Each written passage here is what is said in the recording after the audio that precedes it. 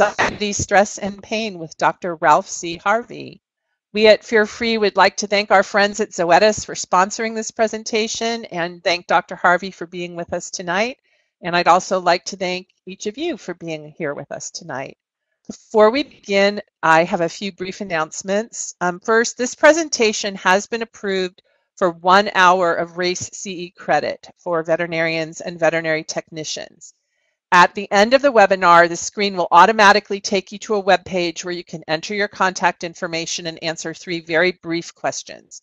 Your CE certificate will be sent to you. Um, I'm not sure exactly how long it will take, but it won't take long. Um, if by chance you're not forwarded automatically, I will also post the URL directly into the chat window so that you can um, capture it there. Speaking of the chat window, Dr. Harvey will take questions at the end of his presentation, so please feel free to enter them there uh, for consideration to be answered live. And um, one last thing, because we always get asked this, yes, this presentation will be available in an archived version on the Fear Free website within a few days. Um, the URL is really easy to remember. It's fearfreepets.com slash webinars. So um, uh, I would like to introduce our speaker tonight. A member of the Fear Free Executive Council, Dr. Ralph Harvey is currently retired. He told me he's retired, but he's not good at good at it yet. Is currently retired from teaching anesthesia and pain management in the Department of Small Animal Clinical Sciences at the University of Tennessee College of Veterinary Medicine in Knoxville. He previously served as the section head for the Small Animal Surgical Services and as a member of the University Faculty Senate. His veterinary degree is from UTCVM and his postgraduate training included internship, residency, and fellowship at Cornell's veterinary and medical colleges. Dr. Harvey has also worked in private small animal practice, so he does understand what you face out there in the real world. He is certified as a specialist by the American College of Veterinary Anesthesia and Analgesia, analgesia, analgesia and has served as their executive secretary and as a member of the ACVAA board of directors. Please take it away, Dr. Harvey. Thanks very much, Christy. Thanks to each and every one of you for joining us tonight. And I'd be remiss if I didn't thank our sponsor, Zoetis, for making this webinar possible. This follows a podcast that was presented recently in the Fear Free format um, and, and, from the website by Dr. Tammy Grubb, a friend and colleague of mine, anesthesiologist and also a member of the Fear Free Executive Council, and Dr. Sharon Campbell, the medical director at uh, Zo- with Zoetis. And they discussed um, really sedation, uh, I might say sedation without hesitation for many of our patients. And and this is intended sort of as a case review, a series of cases to discuss with you some of the ways that we can apply the principles of fear-free management on our, our daily case basis and, and sometimes with the more challenging animals. So I'm going to make reference uh, time and again to uh, the podcast by Dr. Grubb and some other resources that are available uh, from the, the Fear Free website. I'm trying to speak up so that you can hear me clearly. If you can't, please uh, let our moderators know and they'll pass that information along to me so that I can speak up so they can help you better. Please uh, share with us your wisdom, uh, the benefit of your talents as you're sharing your time tonight. Uh, with the, when it does come time for some questions, and you can supply those, and, and we'll discuss those once I finish my song and dance with these PowerPoint slides, if you will. I wish I could look out into the audience and see each one of you but you know, the other side of that, you have the benefit of not needing to see me, so it's probably a, a good thing from your perspective tonight. You can just listen to my words and see these nice images. So we're going to start off with a few questions to ask about uh, this topic, really, and and I've posed them here. When does fear occur in a patient visit? And and we're all familiar with the fear-free principles. I'm speaking to the choir a bit tonight. So we know that our patients are fearful when they come to us does that fear then lead directly to stress and anxiety? And of course it does. That's really a rhetorical question. I often speak on the spectrum of fear, anxiety, stress, and pain in our animals, and how this fear free movement initiative is a gentle revolution in our work to improve not only the success of our patients' outcome, but make it safer for them to reduce the real injury that occurs to them from fear, to reduce the real injury that occurs to us that comes from their fear and anxiety and stress, and to improve the situation uh, and reduce, if you will, please, the injury that occurs to our practice and our clients when we engage in uh, the, the bad old days of trauma to our patients. So we know that fear is deleterious. Uh, we, we need to ask the question also rhetorically is pain an emotional as well as a sensory event, compounded or exacerbated by fear, anxiety, and stress? And again, of course it is. Uh, pain is defined by the International Association for the Study of Pain as an emotional as well as a sensory experience associated with actual uh, or even potential tissue injury.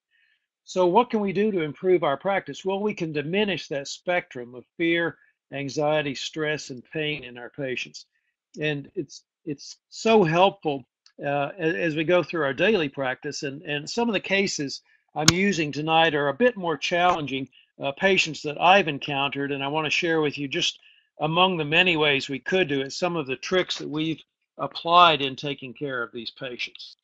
We often fall back on this graphic and this information from the Bayer Veterinary Care Usage Study that was published in 2011 and updated in 2014.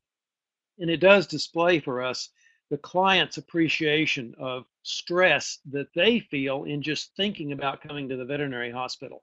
26% of dog owners and 37% of cat owners say it is stressful for them to even contemplate coming to see us in our veterinary practices. And that is in spite of the fact that our profession is among the most uh, highly respected and honored and admired professions um, of any that are out there. And so it does stress our clients to think about this. The client's perception of what their animal thinks is that 37% of those cat owners, excuse me, 37% of the dog owners and 58% of the cat owners think that their pet hates going to the veterinary office. I think it's higher, and I believe you might agree with me. I think the average dog has a perception that going to the veterinary hospital is about like a person with substantial dental phobia being forced to go to the dentist against their will. I think the average cat that's coming in to see us uh, maybe thinks they've been abducted by the aliens and taken aboard the mothership. So we know there are strategies that we can apply through the fear-free principles to diminish that stress to the patient, that stress to the client, uh, that fear that they all feel, and the reluctance that they therefore have to being presented to the veterinary hospital. We know that substantial dental phobia interferes with the delivery of good dental care in people. And we can certainly understand that the stress and anxiety and fear of going to the veterinarian does interfere with the delivery of good veterinary care as well. We think about the anesthetic requirements for our patients, and, and of course, that's my perspective, having served as an anesthesiologist for all these years. So I, I kind of emphasize anesthesia and pain management and perioperative stress and, and moving now toward more the, the fear free initiative. I've told many people that this fear free work is the third one half of my career, having spent the first half becoming a competent anesthesiologist to take advantage of the subtle science and exact art of potions, if you will, to draw a line from J.K. Rowling. And, and the second half of my career really was the application of pain management. I spent more time uh, relieving pain and, and determining analgesic and pain management strategies for patients over the second half of my career than I have, strictly speaking, anesthesia, just keeping them sleepy. And really, if you get to enjoy your career and do this long enough, you get three one halves to your career. And, and so the Fear Free Initiative is really the third one half of my career. So let's let's look at these anesthetic requirements, if you will. The concept of balanced anesthesia and balanced analgesia plays right into the fear-free principles, and I'm going to use that analogy if I can to get us started. We have a four-phased model of anesthesia that includes pre-medication, induction, and maintenance and recovery. We have analgesic strategies that are based on a preemptive approach, a multimodal approach, and also a willingness to dose to effect, really to continue our analgesic strategy in the postoperative period. Anesthesia is certainly not just the delivery of drugs, but also its perioperative support for our patients and monitoring so we know where they are. So monitoring their signs, using their vital signs, their instrumentation that we have to appreciate trends and using the instrumentation really be able to talk with the animals the way maybe Dr. Dolittle did, the original Dr. Dolittle, to talk with the animals and ask them how they're doing and then use that monitoring equipment, the information we gain by monitoring our patients to understand what they're trying to tell us physiologically, if you will. So we combine sedation, muscle relaxation, unconsciousness, analgesia, uh, amnesia to, to come together in a balanced anesthetic uh, uh, plan, if you will. Let's look at those phases of, of anesthesia in more detail. The first phase is really the, the intake and the history and patient evaluation. So this may not be just a single episode. It may be the history we've accumulated through even many years of dealing with a specific patient. But but we find some information about those animals. We get to know them and we determine what makes them unique, what makes them different from the last patient that walked in the door, from the last patient that we took care of. What are their special needs? What really are the concerns we need to focus upon? What are the anesthetic concerns that we can identify that then lead to individualized care? What makes that patient unique? And I try to teach my students to do that in an efficient manner so that they don't take uh, 30 minutes to come up with a protocol for a patient. We need to move along in veterinary medicine and take care of this animal before it gets more stressed, if you will. So the second phase is really pre-anesthesia and pre-medication. This is perhaps not the first application of pharmaceuticals. Uh, we've been applying the fear-free principle since we first uh, saw that animal, prepared to see that animal, we may have some pharmaceuticals that we've sent home with the clients. So we'll talk about the pre-visit pharmaceuticals that we may send home with the owners to facilitate care. And that's increasingly recognized as a valuable part of our management and support and success really in taking care of the most challenging of our patients. We think pre-anesthesia and pre-medication is those few medications we give right before the induction of anesthesia, maybe 30 minutes, maybe an hour before, we really want the animal as calm and comfortable and pain-free and stress-free as possible from the time they approach the veterinary hospital, not just after we pull them from a cage or pull them from a carrier and start administering medications, but we want to use these pre-visit pharmaceuticals we're going to discuss as an opportunity to relieve the anxiety, some anxiolytics, if you will, to make it easier for our patients. The use of the pheromones, things like Feliway and Adaptil to reduce the stress, the fear-free principles of separating our waiting room so the cat that's presented does not have to tolerate the young beagle in the same room and in the same space, if you will, increasing its stress. All these things we do before we administer the pre-meds. But the pre-medication, the pre-anesthetic medication falls right in line with that to continue the relief of that spectrum of fear, anxiety, stress, and pain. We always keep an eye on those principles of the fear-free initiative as we take care of our patient and and just pause and contemplate that and it becomes a way of life if you will in that gentle revolution that we celebrate in the fear-free initiative the induction of anesthesia is dramatic isn't it and as we take over the responsibility for a patient's airway that can make us nervous you know even as a, a fairly experienced gas passer of all these years i've administered anesthesia to many many thousands of patients but it should always concern us we're never complacent about that big responsibility of taking over the responsibility for another patient's airway and another patient's uh, next breath, if you will. So the induction of anesthesia is a time when we really have to be ready for the physiologic support and the best medications for that animals and realize that changes can occur, surprises can happen. So we're prepared for complications. We're prepared for contingencies. If you will, we have a robust plan that's ready to take care of alternatives. Then we have the maintenance phase. If you draw an analogy to flying an airplane, this is kind of like cruising at altitude. We maintain physiologic stability, homeostasis. We are ready to handle any challenges, but we expect smooth sailing. That would be ideal. It does not always happen. The maintenance of anesthesia is accompanied by continued vigilance, and that's why vigilance is the motto of our physician counterparts who take care of anesthesia. That vigilance, in spite of the potential for uh, uh, everything to be going well. You know, sometimes we think everything's going well, and there might be some crisis just around the corner. So we remain vigilant. We remain on alert. The most dangerous phase of anesthesia is clearly during recovery from anesthesia. And in the American Animal Hospital Association guidelines for anesthesia dogs and cats, that's clearly recognized that recovery is the most dangerous phase of anesthesia. If I can re recommend anything for each of us to do in terms of clinicians taking care of patients under anesthesia, the thing I'd recommend you do to improve anesthetic success, to reduce anesthetic morbidity and also mortality, is spend more time with the patients during recovery.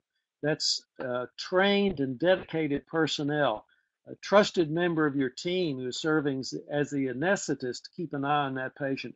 Provide physiologic support, maybe supplemental oxygen, maybe continued fluid therapy, maybe maybe uh, continued monitoring also for that animal. And that continued support, that continued observation for a longer period of time than we might have applied in the past is associated with, with real uh, trend toward better and better success. Uh, so, so we look for the fear-free pre-medication strategies, if you will. And as we pre-medicate our animals and we relieve their anxiety, maybe that pre-visit pharmaceuticals also, both that and the pre-anesthetic medications lower the doses of induction drugs for anesthesia, the potentially most dangerous drugs we give. Also lowers the dose requirements for the maintenance of anesthesia. We know surgery is going to provide some pain, so we start off with some analgesics and some preemptive approach to pain management. We're using a balanced approach. Currently, in the era that we are experiencing shortages of opioids, we rely on opioids as we can, of course, but we also achieve some strong contribution to surgical pain management through the generous use of local anesthetics, through the use of uh, ketamine somewhere in our pro- in our protocol, through the use of the alpha 2 agonists like dexmedetomidine or dexdomitor, all these things help provide analgesia for our patients. And we just want to start that early, continue it through the surgical experience, continue it in the postoperative period. These things contribute to decreasing the patient's stress, and that decreases our stress as, as providers of that care. Now, recognize that pre medication strategies, some pre meds are contraindicated in some compromised patients. So, the key to success, regardless of what we do in medicine, the key to success is patient selection. So we recognize what's wrong with this patient, what might be the best protocol for it. Is there anything in this patient that would preclude the use maybe of our favorites? Do we need to do something a little bit different because of this patient's risk factors, whatever they may be? Let's look at analgesic strategies because it's a good metaphor for the fear-free approach.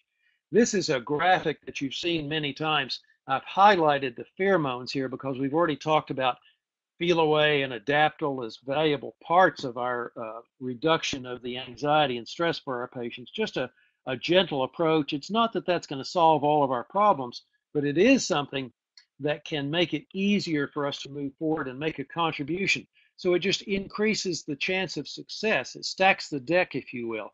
And then we use other strategies as well. In this list of analgesic approaches, we see the graphic up in the corner there of the dog with various sites at which nociception or the pain process gets started and then is then is subject to transmission to the spinal cord and then modulation in the spinal cord and brainstem.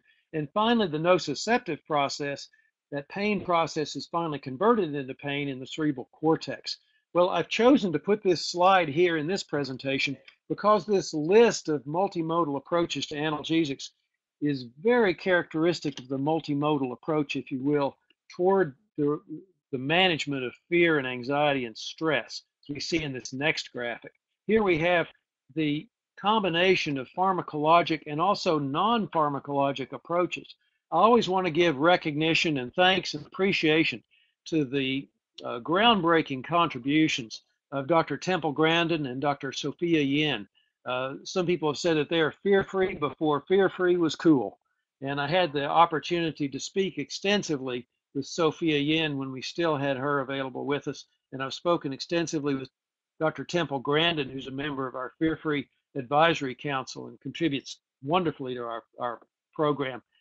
So they, they have suggested particularly noteworthy contributions that are not based on pharmaceuticals, but are based on handling strategies, like separate areas for cats, maybe even feline only facilities if, if available, if that fits for you certainly the pheromones we mentioned, the towel wrapping techniques that were popularized by Dr. Sophia Yin and are still available and promoted through the Cattle Dog uh, Publishing Company, and also uh, Dr. Yin's uh, towel wrapping techniques are still available on YouTube as well.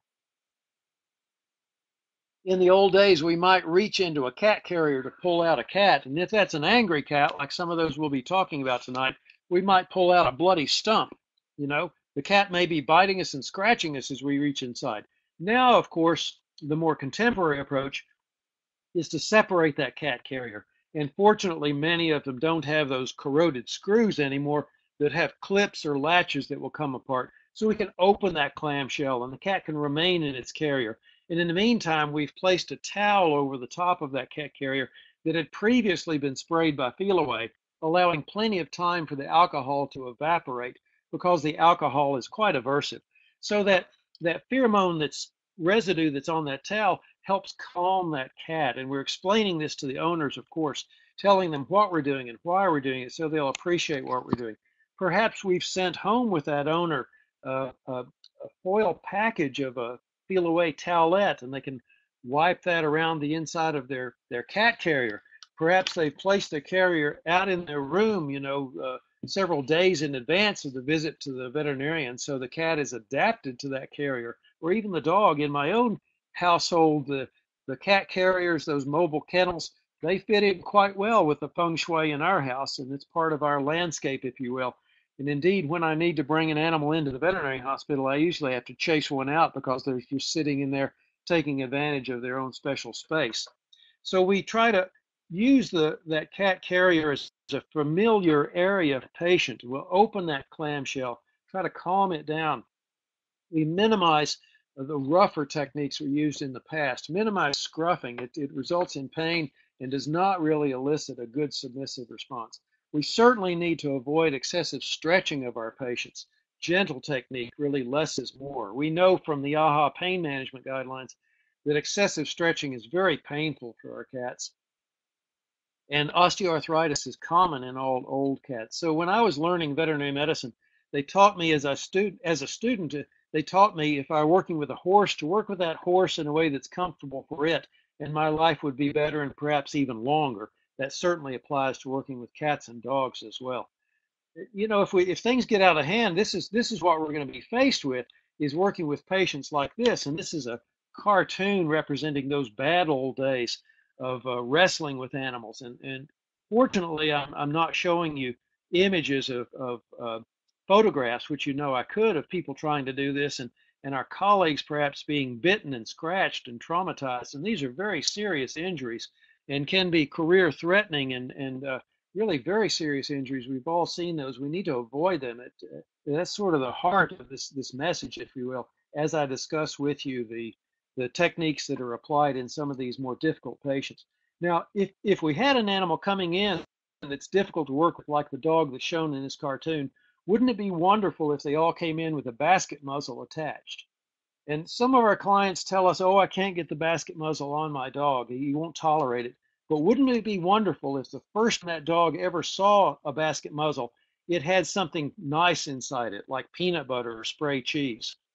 That basket muzzle suddenly would become that dog's favorite toy. And in fact, they'd probably bring it to their owner in order to get a snack. So indeed, the easy cheese or equivalents or peanut butter on the inside of that constitutes a modern medical miracle, if you will, and it trains the dog who's never seen a basket muzzle before that this is a good thing. Now, one of my residents has further modified these basket muzzles, and she's shown here where she's uh, carved out a small area in the front of those basket muzzles, and you'll see an endotracheal tube coming out that basket muzzle. So we can indeed recover patients from anesthesia with their basket muzzle already attached. And that precludes or prevents us from needing to apply a basket muzzle to an animal that's starting to wake up. That's a frightening time. That animal may arouse from its residual sedation and be chewing on us at the same time we're trying to apply a muzzle. So what my resident has done is to modify this basket muzzle so that it allows us to place this muzzle on the dog before it wakes up from anesthesia. We still have the endotracheal tube present in the dog, we can be providing um, uh, oxygen through a breathing circuit or have a mask in front of that. And then when the animal starts to swallow, we can remove that endotracheal tube without ever removing the basket muzzle. Now, sure, you might be able to nibble a little bit, but this provides a great deal of safety for us. We're talking about some of the more difficult animals, and we need to recognize that we're not always going to have that muzzle on. So, what do we do for a patient that comes in and, and is uh, more of a direct threat to us, if you will?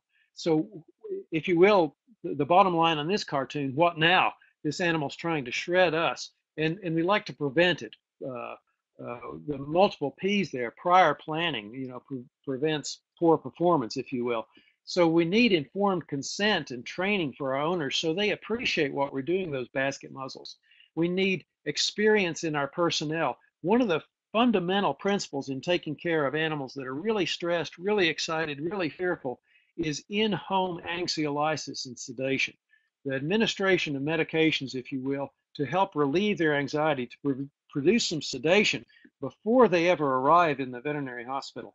And, and I work closely with our behaviorist uh, in, in my own teaching hospital to manage these most challenging, these most fearsome animals as they present. We will use pheromones for what they're worth. We'll use trazodone quite often in dogs, gabapentin in high doses quite often in cats.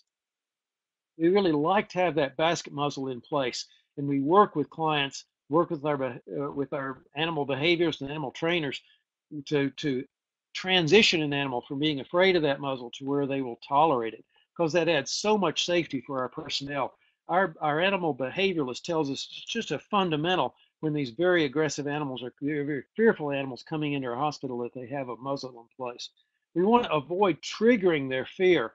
We want to avoid bringing those animals into the waiting room. Uh, would be one of the worst places to bring them there are many options that we want to explore with you. We'll talk with you in taking care of a, a hound mix that was particularly challenging, how we provide sedation before we, uh, as we bring the animal in, so they never encounter that waiting room and that chance for, for triggers to occur.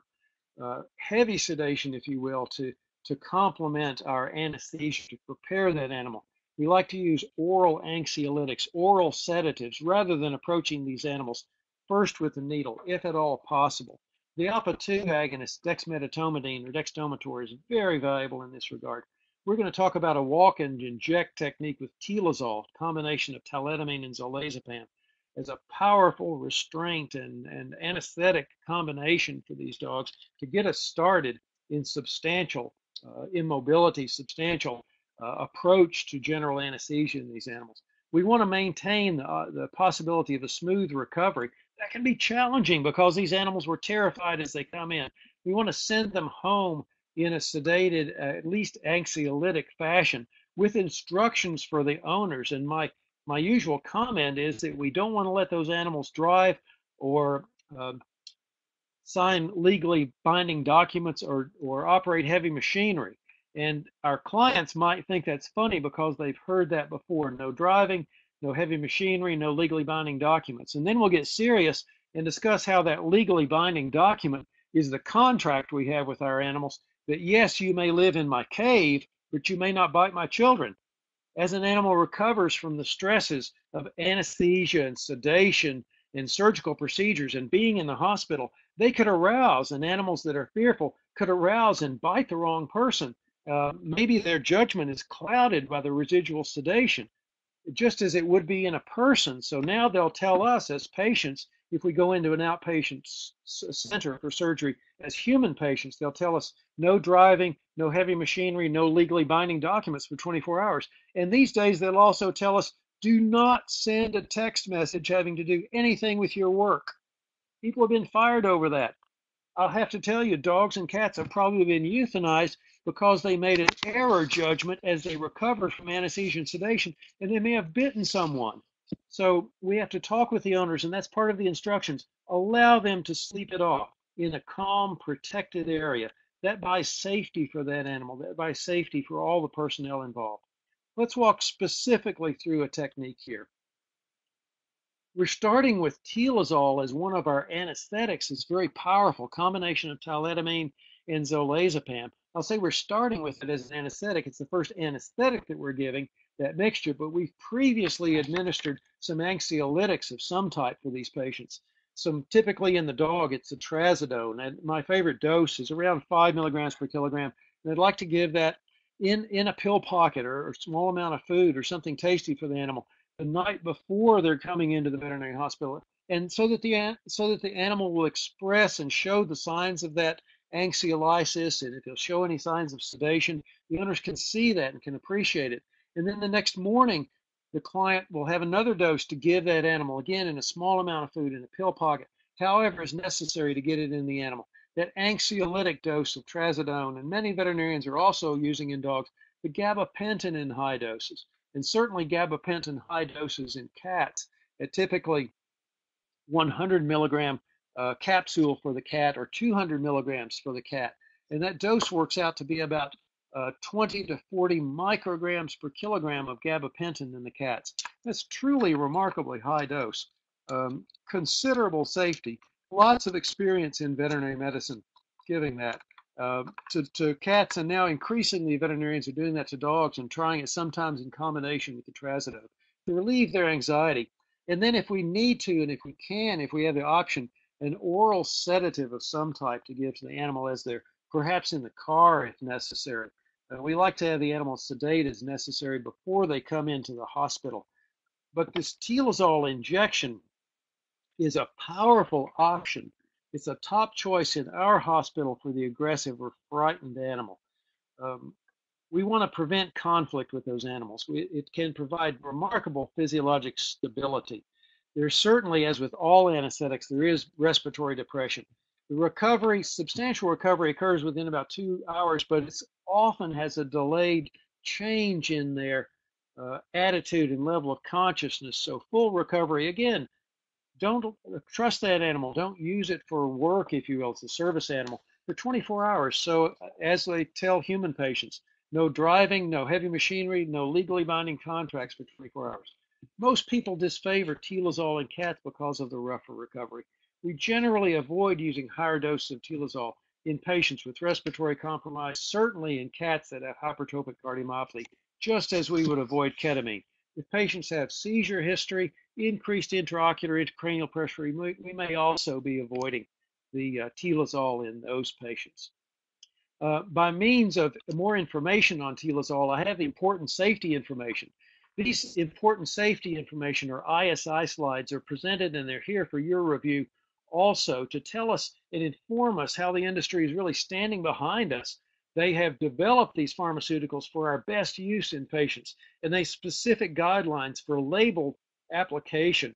And, and many of these applications I'm discussing with you today are truly extra label. So I'm, in, I'm required to inform you that it's extra label, to, to then warn you, uh, to then tell you how we would use them, and then inform you again that it's extra label. So please uh, pay attention to the important safety information that's on the drug insert. Read that material. It's there for your information. And then you can also see the full prescribing information at the website that's listed there. I want to jump in now to a case example where we use this particular combination of pharmaceuticals and behavioral approaches. This is Boone. Boone is a very interesting and challenging patient that we're still seeing at the veterinary hospital. A hound mix, six years old, male castrated dog he's a, a seizure alert dog. He warns his owner um, when she is going to have a seizure. So this client has a profound seizure disorder herself, and Boone warns her by pushing her toward a chair, and he's taken care of her on multiple occasions. But over the last few weeks to a couple of months, perhaps, um, he's developed some very inappropriate aggression toward his owner, toward this woman who relies on Boone as a as a service dog. Uh, he's always been anxious around the veterinarian. He's got a history of barrel rolling when he's brought into the veterinary hospital.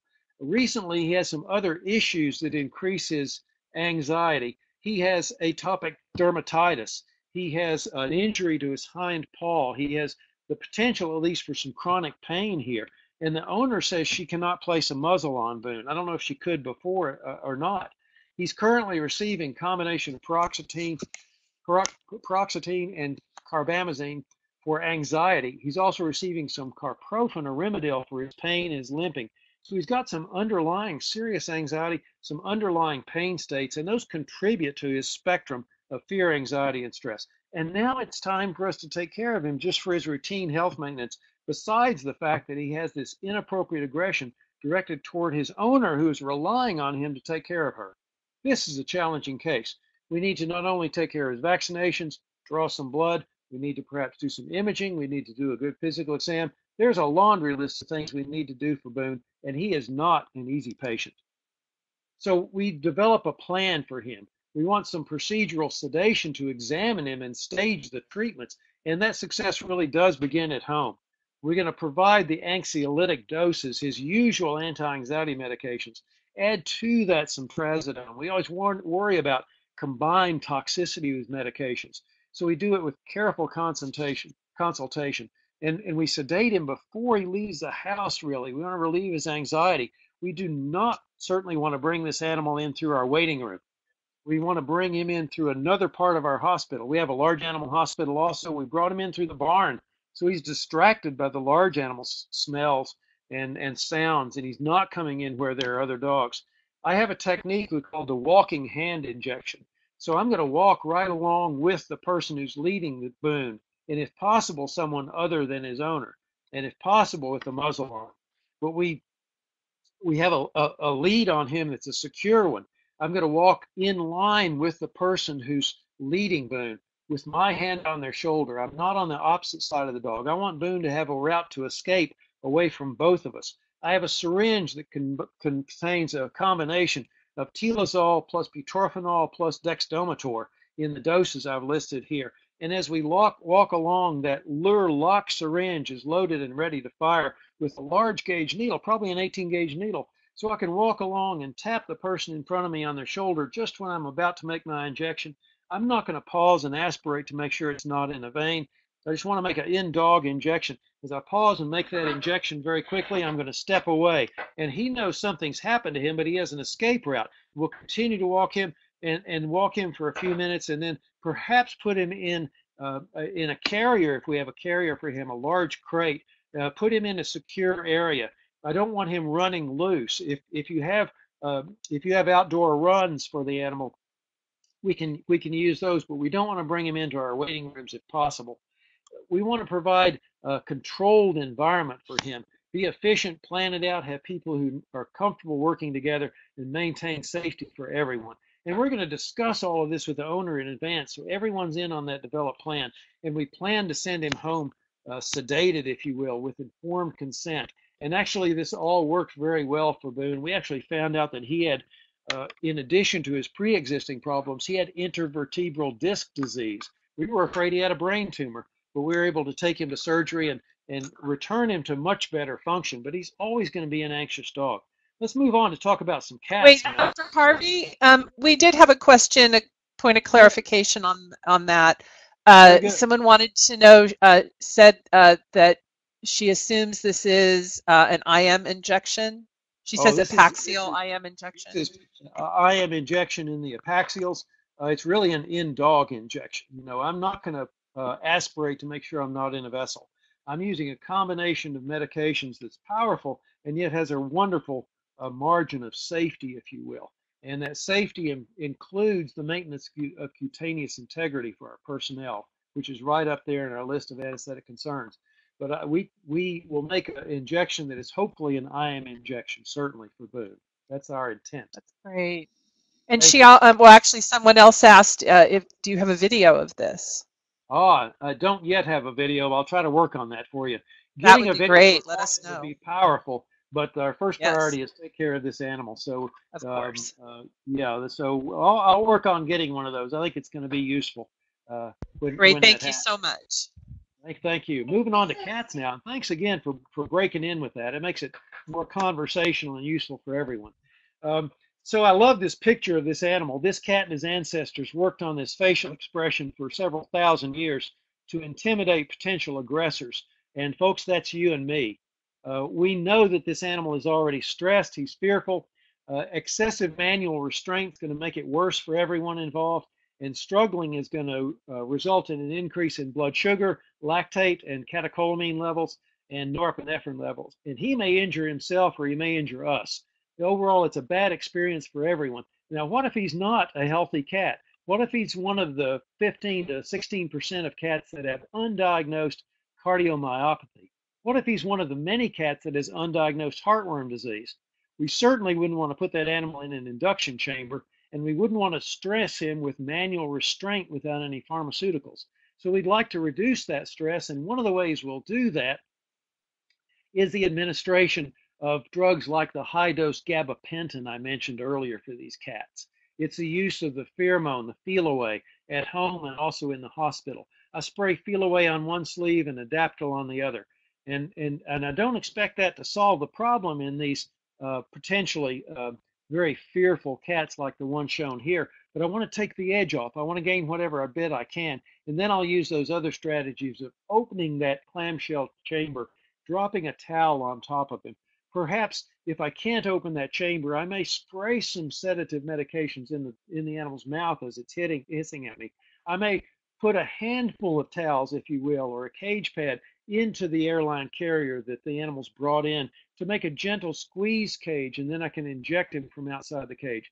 Use those strategies rather than manual restraint with our hands on the animal, and and then pull some of those towels out. Give that animal a chance for the drugs to take effect.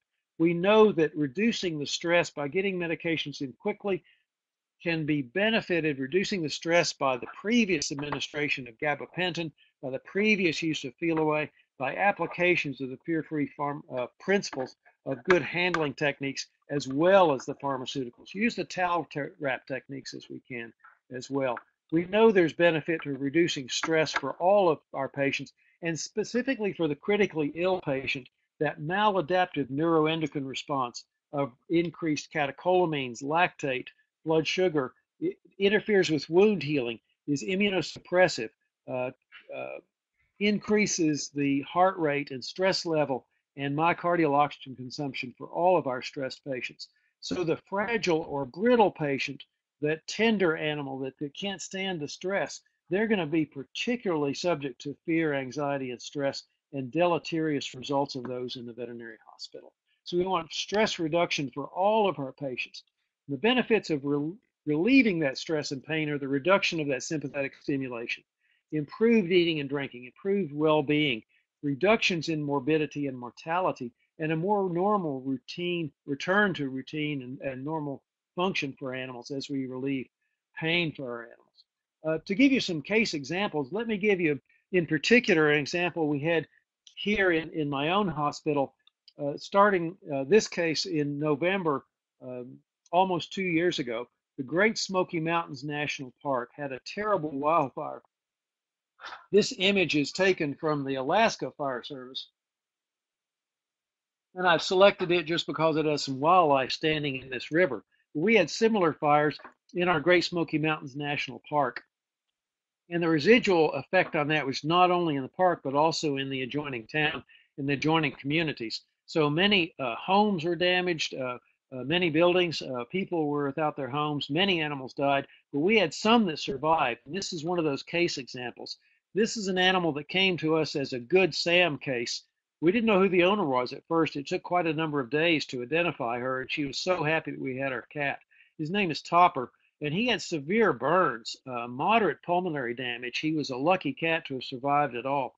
One of the medications we used in him to relieve that spectrum of uh, fear, anxiety, stress, and pain is the long-lasting analgesic Simbadol to provide 24 hours of analgesia in this cat as a component of our pain management strategies. And Simbadol is a concentrated buprenorphine. We have a ceiling effect, if you will, on its analgesic and sedative effect that protects our patients, but it's a pretty high ceiling effect. This represents buprenorphine. This is butorphanol, which doesn't provide a good level of efficacy, but the buprenorphine in Simbadol provides a good level of efficacy with relieving pain. And this is one of the things we did to take care of Topper through the many days that he was a patient in our hospital. You'll see him a little bit later here where he's sitting up. He's had some initial wound care. He has some IV catheters. Uh, he's been treated for the variety of injuries and he's starting to make some some recovery here. Some of the fundamentals we have, not only the Simbadol as a foundational element for pain management, but also some ketamine in low doses, some NSAID also, uh, robenacoxib in this case. Feliway to reduce the stress. Lots of tender, loving care and nutritional support for this cat as he recovers from his injuries. He did make remarkable progress, and here he's looking much better. I want you to, to notice his, uh, his posture, if you will, his facial expression and posture. And of course, uh, part of that tender, loving care is to get the, the beautiful little bandages on his legs as he's healing his, his, his uh, injured feet there. But note his facial expression. Note the body posture. It looks more normal. His facial expression is something that we look for in cats that are comfortable. The ears are coming forward, the whiskers are up, the eyes look fairly normal, and his eyes are starting to look more normal in spite of his burns to his eyelids, if you will. Quite a bit later in this time, we uh, we uh, were able to reunite him with his owner, and this is this is a an image right as he was uh, just about to, to go home with his owner. But you notice this facial expression. Topper didn't like the attention so much. And here he's showing a facial expression we would ordinarily associate with an animal that's not so happy and also an animal that might be in pain. The ears are backing down, the whiskers are backing down, he's in a more crouched position. I have a picture of him sitting at home later on with his uh, favorite buddy. Now, the reason he's not happy in this picture in this picture is is evident because of all the caregivers around him along with his owner right there. So that's this is a good time for me to say uh, happy Veterinary Technicians Week to all of our much admired and respected colleagues in the veterinary technician community. I know a lot of you are with us tonight, and I thank you so much for being here and for your fundamental role in relieving anxiety, fear, stress, and pain in our animals. Uh, noise phobia is a profound source of uh, anxiety and fear, if you will, in dogs. It's estimated at least a third of the dogs in the United States suffer from noise aversion. It's probably the same in any community. I know we have people from around the world joining us in the webinar tonight. So we know that in, in our own country, at least a third of the dogs suffer from significant noise aversion, what we often call noise phobia. And, and it gets worse over time. It's even socially transmissible to other dogs in the household. It usually gets worse until animals finally start losing their hearing and that leads to considerable distress and suffering. My wife is a shelter veterinarian. We know that in, that in the United States, July 5th is the leading date for animals to present to animal shelters, and that's because of the July 4th fireworks, if you will. They either escape from home or they're presented because their owners can't handle it anymore. Many medications have been tried, many strategies. We finally have a, a medication that really works well as an anxiolytic for noise aversion, and that is Sileo. It's a low dose dexmedetomidine in a sticky gel that sticks inside the buccal pouch on the dog. Comes in a syringe that's uh, um, metered out in little dots or little clicks on this syringe. And the dose is quite small, and with the bioavailability we have with oral transmucosal dexmedetomidine, this results in what is intended to be and is often a subsedative dose. That low dose provides relief of anxiety works remarkably to turn around noise aversion for fireworks or for other causes of noise aversion in dogs. So it's really a game changer and uh, has, has been remarkably effective, a, a, fairly new product. Again, we have the safety information for Sileo, um, uh, safety information with same as often with dexmedetomidine. But read that information. And again, this is how industry has prepared this medication and how they stand behind us in preparing these best medications for us. One of the final topics I want to have share with you tonight is sedation to manage animals that are delirious during recovery or agitated during recovery from anesthesia. As we, as we have new techniques available for outpatient anesthesia, we're able to wake up patients more quickly and more completely. Outpatient in human medication, outpatient anesthesia has revolutionized patient care we expect to have procedures done and be able to go home often the same day. And the same thing now is possible in much of veterinary medicine. But as we have rapid recovery from anesthesia, and now it's possible, sometimes animals wake up a little too quickly, and postoperative delirium or agitation become an increasingly important topic and an increasingly important concern. I want you to take a look at these dogs in the next image. I love sled, sled dogs. These are this a team of racing sled dogs and they're so happy in their work. Look at their facial expressions. If you saw their feet, they'd be just flying over the snow and they'll dig a hole in the ground and sleep and get up in the morning and do the same thing again in exchange for a little piece of horse meat, if you will, or probably a better diet than that for the racing sled dogs. But if you take any one of these animals out of the harness and you bring it into your hospital and put a 22 gauge needle into them, they think their world's coming to an end. You know, so these are purpose bred animals. As they wake up, they want to return to function. As they wake up, the sense of hearing is the first to come back of all the senses, the last to go away with anesthesia, the first to come back. They have some cognitive function before they can get up in a coordinated fashion. This animal here, this border collie, sitting up here looking out over these sheep. It's a nice pastoral view from Ireland. This picture was taken by one of my students. It looks so peaceful. It is anything but peaceful. This is a highly stressed relationship between these dogs and these sheep. The dog's worried about them, they're worried about the dog. They both have important jobs to do. These purpose bred animals, they also don't wake up under anesthesia very smoothly, so they often need some anxiolysis before they return to function. We have learned lessons from taking care of horses as they recover from anesthesia. Often a small dose of xylazine has improved the transition from inhalant anesthesia to standing recovery, so these animals don't stand up too quickly. Similarly, in dogs, small doses of dexmedetomidine, small doses of dexdomitor. This is extra label. It's only one half to one microgram per kilogram by intravenous injection is useful to reduce the agitation and delirium in dogs waking up from anesthesia, and parenthetically often in humans. The trade name product is Precedex in humans, but parenthetically it's the same low dose for humans. So if you if you administer this small tiny dose IV to dogs who are going to have a rough recovery, or preemptively to those who had a rough induction, you can preclude that rough recovery and smooth their recovery much better than what we used to use as acepromazine, much, much better than perhaps low doses of propofol or other uh, options. We have many uh, options to keep our patients happy at work, and these are the sled dogs just flying along the surface. What we want to do is avoid the potential for conflict, reduce fear pain and stress in our animals. Tremendous benefits to be gained by reducing a spectrum of fear, anxiety, stress, and suffering as we prepare patients for anesthesia. Continue our, our pre-visit pharmaceuticals that Dr. Grubb and Dr. Campbell emphasized in their podcast. The use of anxiolytics. Follow them with pre-anesthetic medications to continue. Use those fear-free principles, not only of pharmaceuticals, but also gentle handling. We want to extend the health span, increase the chance for success, and reinforce the human animal bond with our patients. I have a variety of references that I have collected for you and can make them available. They'll be available on the recording as well. And I want to turn it over now to our moderator to see if we have any further points for discussion and questions before we run out of time. I thank you for your patience as I've gone through very quickly all these topics. And let's see what we can talk about of interest to everyone. That's fantastic. Thank you so much, Dr. Harvey. We do have a number of questions, and some of them are closely related. Um, we have people attending from other countries who cannot access some of the medications you have uh, mentioned.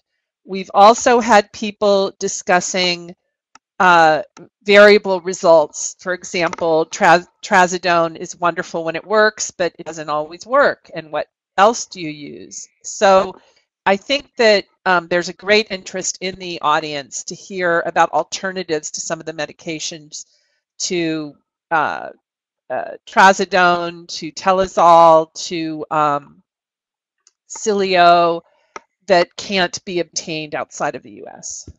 Yes, yes, thank you, and, and thanks to each of you for those questions.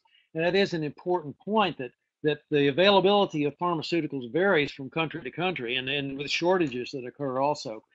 Uh, and and yes, I would uh, agree. Certainly, the trazodone's great when it works, but it doesn't always work.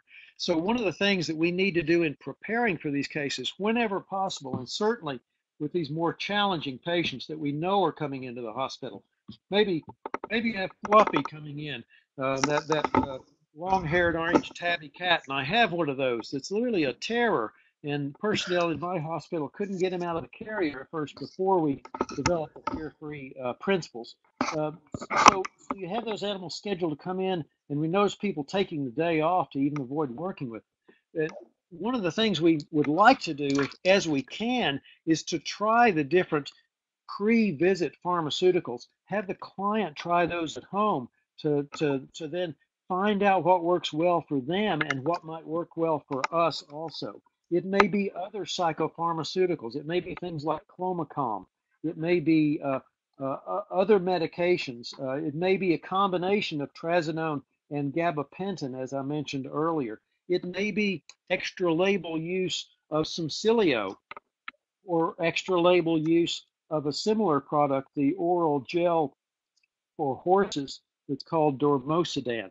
That's been popularized through publications from Meg Gruen at NC State and then discussed on VIN also as an, as an option to use in dogs, the, the Domosedan gel product for horses. So there are many options out there. One of the best things that we can do is try in advance, you know, when we have time when we sometimes we don't have time and, and those animals present, we have an emergency situation, we haven't had the opportunity to use pre-visit pharmaceuticals, and the animal hasn't been uh, managed in a fear-free uh, uh, protocol previously. So then we have some of these injectable techniques that's that's uh, rely still on things uh, on agents like telazol, or it may be combinations. We don't have telazol available in our country. It may be a uh, ketamine plus uh, midazolam, uh, if we have that available.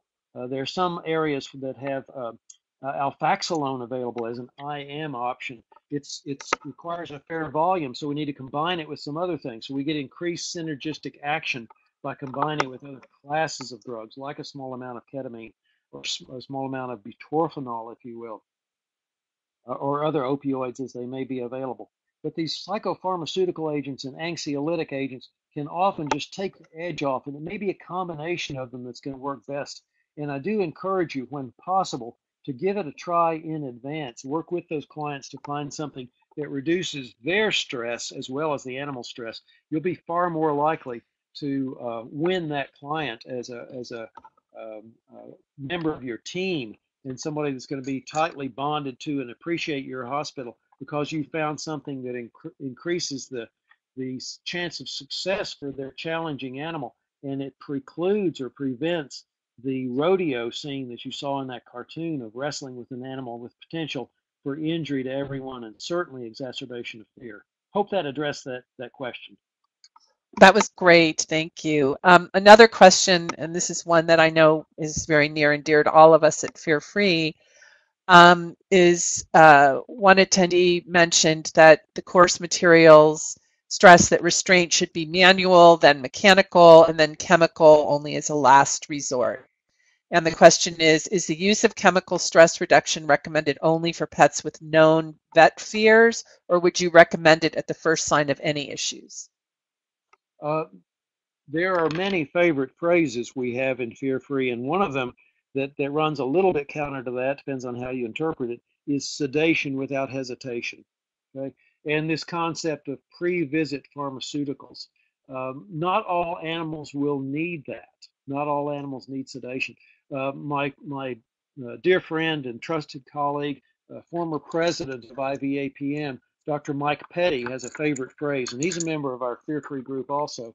Dr. Petty says, hugs, not drugs so that I think that's a wonderful phrase also, and it's it's a it's a, a principle of training of their animals. And I've seen one of our leaders in the fear free movement, uh, Dr. Bloom in Toronto, uh, emphasize the the gentle handling and the reward system with time with small treats for animals. How you can really turn a terrified animal into one that's not so stressed and fearful of a veterinary hospital. And that video is available on the Fear Free website. Uh, look for Dr. Jonathan Bloom taking care of, of his uh, German Shepherd patient that was previously fearful in a fashion that really relies on on uh, gentle handling techniques and reward system uh, with small amounts of treats. So it all has a place. What I have done tonight is to emphasize the management of animals um, where that hasn't been enough of a success, or we need to jump forward in order to take care of a patient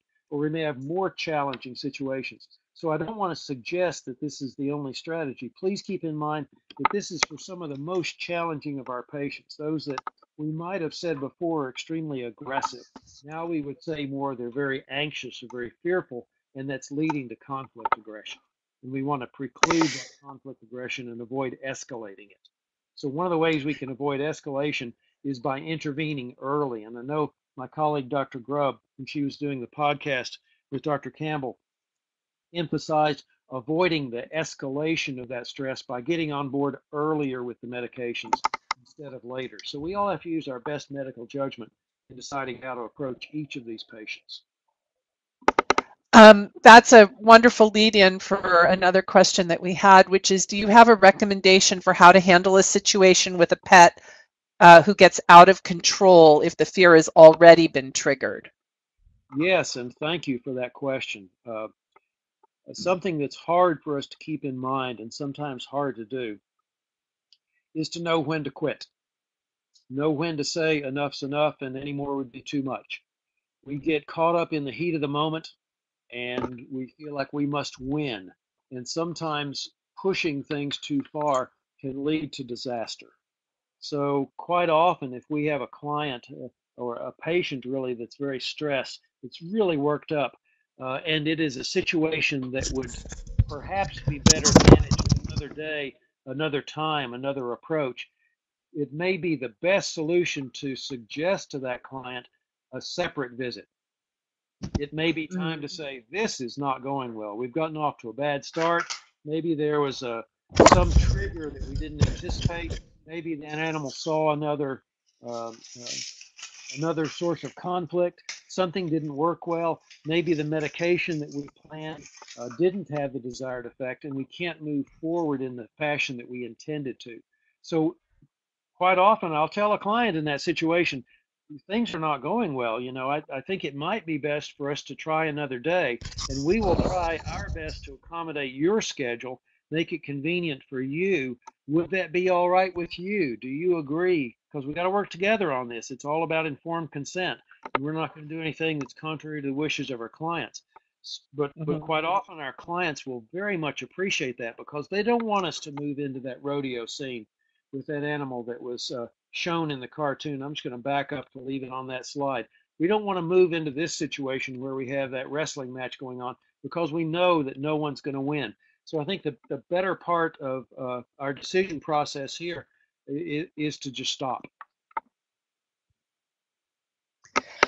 Um, you'll be glad to know that a number of people in the chat also made the same suggestion. So your message is getting out there. That's great.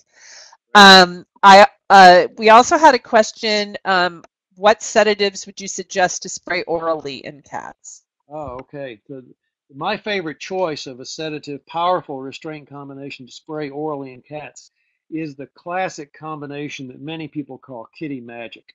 And we'll just postulate a hypothetical average cat that weighs five kilograms, and that used to be a large cat, but I think it's average these days. So we have a five kilogram cat, and I would uh, think the usual injectable dose that we would inject intramuscular in those cats for the usual popular cocktail that many people call kitty magic might be one tenth of a cc each of uh, ketamine, dexdomitor, and Torbugesic. It's one tenth of a cc of each. And those are synergistically interacting together. Uh, so that dose, if you if you do the math on it, it works out to only be 2 milligrams per kilogram on the ketamine and 0.2 milligrams per kilogram on the butorphanol and 10 micrograms per kilogram on the uh, dexmedetomidine or dexdomitor. That might sound high until you realize that the FDA approved dose of dexmedetomidine, dexdomitor in cats is actually 40 micrograms per kilogram. So we're using it extra label in a much lower dose. Now, those are the intramuscular injections that we would typically use for the average cat. So if we consider something we're going to give by oral spray, really an oral transmucosal, if you will, spray into the mouth of a frightened, stressed, hissing cat, we're going to increase that to either two tenths or three tenths of a cc of each one of those in a syringe, preferably with a Luer lock uh, connection with a needle on it or an open end Tomcat catheter. So we can use that syringe and tomcat catheter or syringe and needle like a water gun. And as that animal is hissing and spitting at us from the back of his airline carrier or the back of a cage, we can spray that mixture into his mouth. Certainly, the cat will turn his head. We might miss with some of that in our water gun approach to spray pharmaceuticals in his mouth. He may swallow some of it so we don't get oral transmucosal. He may spit out some of it. But typically, the amount that we have for oral transmucosal is sufficient so that that cat transitions within about 15 minutes to one that is restrained, is perhaps crouching. Then we can carefully separate that airline carrier, carefully reach into that cage, drop that Feliway spray towel on top of the cat, and then gently and quickly make a supplemental IM injection if needed of more drug, of more cocktail. So we titrate to effect based on the results that we achieved after about 15 to 20 to 25 minutes with that sprayed medication into the mouth. So it's a, a bit of an art, if you will. That's part of the uh, subtle science and exact art of potions again, where we use that combination of synergistically interacting agents. And that is my favorite to spray in the mouth of a cat. It's certainly extra label, but it works very well. I've done it many times. And if we have the animal in the back of an airline carrier, as I mentioned earlier, we have also the option of throwing in additional towels, not just that Feliway sprayed towel, but a handful of towels or a couple of cage pads. And then that airline carrier becomes a gentle squeeze cage, if you will. So we can go around to the ventilation holes in the rear of that airline carrier and inject that animal, uh, perhaps in the epaxial muscles as it's gently squeezed in that cage. But if the cat's in the back of a, a cage in our hospital or is hissing and spitting at us and we can't uh, use a gentle squeeze technique. I've used that type of cocktail sprayed into the mouth on many, many cats and found it to be quite, quite successful. Would you, uh, we had a follow-up question, would you use DKT oral if worried about HCM in the cat? I would not. So the question, would I use that in the, in the face of possible hypertrophic cardiomyopathy? And it, it's, it's hard to know which patients have undiagnosed subclinical hypertrophic cardiomyopathy it hides, and it's a result of uh, many anesthetic problems with cats. Uh, we can follow the progression of heart failure with things like the uh, N-terminal pro-BNP levels being changed and elevated over a period of time. Um, but we we're not going to have a we're not going to have an echocardiogram on every animal that comes in. In many of these cats, we're not going to be able to do any auscultation. So I am concerned about that. If there's anything that's going to increase my concern, my fear level, my apprehension with regard to hypertrophic cardiomyopathy. And it might be a perhaps an older male coon, uh, male Maine coon cat. Or we recognize there's some uh, uh, tendency to overexpression of that disease in, in, in that select population. Uh, so if, if I have a higher level of suspicion, I'll leave the ketamine out of that technique, and I may rely more on things like the gabapentin, which hopefully I would have had in, in both cats, um, uh, and the opioid, the mainstay of cardiac anesthesia really is the opioid. But those are those are unique cases. that I would leave out the ketamine on those uh, those particular patients. So here's another um, uh, contraindication question, which is what is a good option for dysphoric patients when dexamethasone is contraindicated for them? Well, that that is a good question. I'll have to um, preface my remarks by saying that it is extra label to use dexmedetomidine in patients that are not healthy. Um, in fact, the uh, one of my favorite phrases, I used it earlier, that the key to success is patient selection, came from the development in the initial literature that was released when Domitor, the predecessor drug, came out before Dexdomitor came out.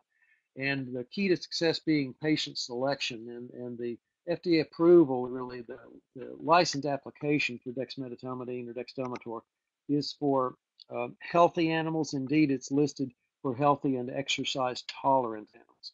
So I'm speaking extra label when I talk about reduced doses to relieve stress, and in fact, in many of our high risk patients. And, and I'll, I'll mention from our one medicine concept with regard to human medications. Uh, Precedex is used, the that's the human formulation of dexmedetomidine, very similar to our dexmedetomidine or dexdomitor 0.1, lower concentration, still dexmedetomidine. And in human patients, it's uh, the, their formulation, Precedex, is FDA approved initially for the sedation of humans that are maintained on a ventilator, but uh, started to be used extra label for high risk patients to reduce the maladaptive stress response. And again, in low doses, like a point um, 5 to 1 microgram per kilogram. It's what we use in our dogs to reduce the stress during recovery. And in fact, we have used it in many higher risk uh, patients in which we would uh, consider the higher doses of dexdomitor to classically be considered uh, uh, contraindicated. So we're increasingly using dexmedetomidine in lower doses in a broader selection of patients. Um, I would mention that it is extra label again. We would avoid using it in dogs with a heart murmur with underlying heart disease. They may not be served well with the lowered heart rate that we see with the alpha 2 agonists. And again, the mainstay of cardiac anesthesia is reliance on the opioids. We're not going to get a lot of sedation with the opioids alone in these dogs. Uh, those that have serious um, heart disease uh, often will rely on the opioids and perhaps a uh, um, benzodiazepine also, and that combination synergistically interactive. For the canine patients that have underlying heart disease, um, if they have mitral and tricuspid insufficiency and endocardiosis, we may be able to use a little bit of ketamine or even a little bit of telazol in those to complement the opioids. But now we're talking about a combination of comorbidities of uh, conflict aggression and significant underlying heart disease. And quite often the heart disease make those animals very much more susceptible to sedation from just their opioids. So when we have a patient like that, I suggest a consult with an anesthesiologist. Uh, there are many of us out there that are available to you. You find your favorite one um, online or through the American College of Veterinary Anesthesia and Analgesia. Um, consult the manufacturers, if you will. Call our sponsors today, your local, your experts at Zoetis, uh, to get some recommendations for specific patients. And I can't prescribe for specific patients. Uh, certainly, I don't have the uh, patient uh, relationship. Can only give you some more blanket recommendations. And when we're talking about patients like those that have significant underlying comorbidities that are creating a challenge to handle those patients, you may need an individual consultation. Well, this was amazing. Thank you so much, Dr. Harvey. Um, we really appreciate everything that you've uh, brought to us tonight. It was fascinating and helpful, I think, to everyone. You're getting a lot of thank yous in the chat. I'll make sure you see that uh, that transcript, and and then you'll uh, that will make your retirement even sweeter. Maybe one day you'll actually retire. Um, I hope I hope not. I hope not too. Selfishly, I hope not. But um, I, I, so I refer our, our, participants also to the Fear Free module 7A and 7B. That's 7A and 7B for more information on sedation. And algorithms also available from Fear Free.